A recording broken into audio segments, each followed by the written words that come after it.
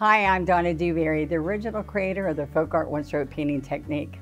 Welcome to the Let's Paint Studio right here at Plaid. Learning to paint has never been as easy as when I teach you how to load a brush with multiple colors where you can blend, shade, and highlight with one stroke of the brush. Our new program with Let's Paint FolkArt One Stroke this year is going to be all about learning how to paint 50 different types of flowers. And as you can imagine, 50 flowers makes the possibility endless to be able to paint floral designs. I'm thrilled that you've chosen to join me on this one stroke journey. So let's paint. Today's lesson is a cone flower. We're going to be using my reusable teaching guide and we're going to practice on it. Then we also are going to be using the FolkArt Multi-Surface paints which are luscious and bright and pretty. Look at them. We're going to use the magenta, apple red, violet pansy, wicker white. Our leaves are going to be citrus green and sap green. And we're going to also use some yellow ochre and licorice in the painting. And the brushes are the FolkArt One Stroke number 12 flat and number two script liner. So look how pretty this is and the vivid colors you're gonna like. So let me show you how easy it is to practice and paint this. I'm gonna look at my guide. It tells me all the, the sizes and colors that I need. And it also, I'm gonna share with you that the first thing you're gonna paint, let's practice that first. And that's gonna be your stems and your leaves. So I'm gonna come over here with the dampened brush that I have laid on the paper towel to take the excess water out. And in my double loader, I put sap green and citrus green. And I'm gonna come back and forth right here and go really quickly to load this. Come back again and do a light pressure. And we're gonna start on the chisel edge of this brush. Now the first thing we do is we put the stem, you might go up or you might go down when you're doing your stem. And then what you're going to do on the chisel is you put a little bit of pressure and then you lift. A little bit of pressure and lift. And I'm going to do that. Follow the arrows and see how you can get those leaves. You're going to use um, a baby wipe or a wet paper towel to wipe this with so it stays nice and fresh to practice over and over.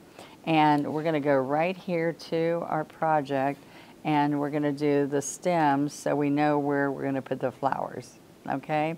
So keep this right next to you to remind yourself what you're doing as far as your strokes are concerned. And it's nice because you have my stroke, your teacher's stroke right at home with you. And so you're just gonna practice over and over on top of my stroke. And then we're gonna come over here and do a little bit of another stem here. Now let's work on these little thin leaves. All right, so I'm gonna come up and I can even tilt it over. That's one of those that we uh, practiced. Then we're gonna come up here and see how you have that nice shading in there. Okay, so let's start down here, pressure and lift. All right, see how thin we want this to be? Pressure and lift and go right over this second side here. All right. So there you go. It's just kind of fun. A little bit of green, and it's going to make these flowers look real good. So let's come back and practice the flowers. Okay, so what's going to happen here? We're going to pick up the purple, violet pansy, and wicker white, and we're going to work that in. Okay, so to get the color we're going to get want today, we are going to then pick up some magenta and work this in. So I still want to get some more violet pansy, not so much white. But the beauty of this magenta in there gives you a pretty color. So then this is what you want to do. You want to try it and see if you like that color. All right. And then we're going to come right here and follow this. Again, we're on the chisel, pressure, lift. Pressure more and lift, and then light again. So you have to practice that a few times. I even did some over here so you can do pressure from the left and from the right to get those strokes in there. And you can come right here to where I loaded to pick up more paint. So see that? I can pick up a little bit more violet pansy and make some of them a little darker. See that? You're just going to practice from the short to long, all right? So the short ones help you come from behind the flower, all right? So I'm going to wipe that off. This small one up here is just uh, controlling and practicing to get a thinner little petal, all right?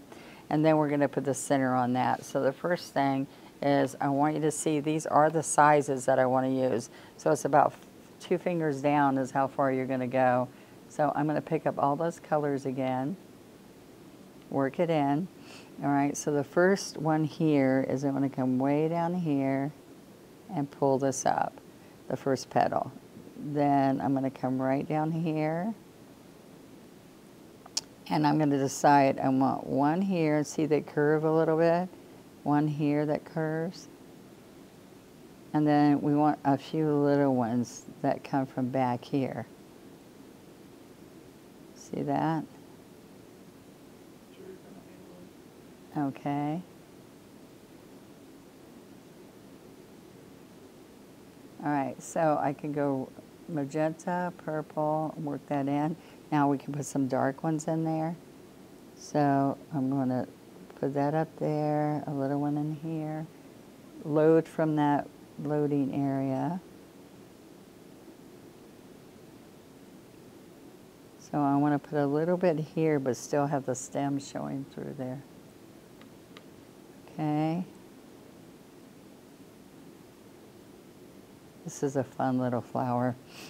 All right, uh, I can put a little bit more magenta in here. So see how pretty those colors look? All right, so I'm going to come in here and do this little one. And I ended up making it tilt a little bit. So I could have that green way up there, the center. So I can come down here a little bit. So I'm going to go like this, get some more paint, and I'm going to have a couple little short guys here. See how pretty all those colors together are? All right, so short there. I'm going to go over a couple here. There we go. All right, so the next step is we're going to come in here and we're going to take a little bit of the licorice, yellow ochre, and magenta, and using this flat brush, we're going to tap down and get some of this look, all right? So I'm going to clean this off my brush. So I'm going to put the yellow ochre, a little bit of magenta, okay, and a touch of licorice. And that gives you a rusty brown color. A little, you can put a little bit more pink and get towards a burgundy color instead, okay? All right, so then I'm gonna start here with the little one and we're gonna tap and what we want this to look like is a gumdrop in this cone flower, okay? So see, get that shape of a, a little bit of a cone then I'm going to come right here and go just like this to get that top. All right, so I'm going to tap, tap, tap, tap. Okay. Now, to make this look really good, we're going to do these little strokes that are going to come down. And what I've done with that is I used a little bit of apple red over this brown mixture. So I take the script liner and get thick paint, all right? And I'm just going to come from here and see how I'm pulling those down. And it's on top of the brown, so it gives you a good color. And they've got those little, like, seeds in the center.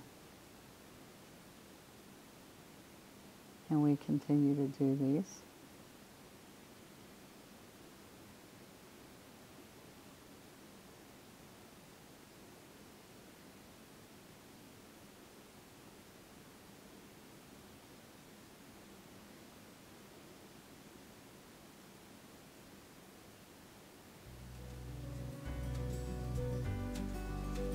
Okay.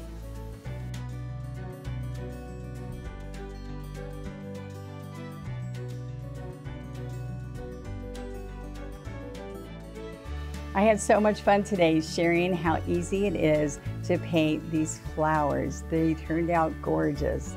Remember practicing on the reusable teaching guides right over my strokes gives you so much painting confidence. Thank you for joining me here in the studio. And remember, we just learned one more of the flowers from the A to Z One Stroke Floral painting sets. And I would love for you to take pictures and share them on our Let's Paint with Plaid Facebook group by hashtagging Let's Paint Challenge. Come on, everybody, let's paint.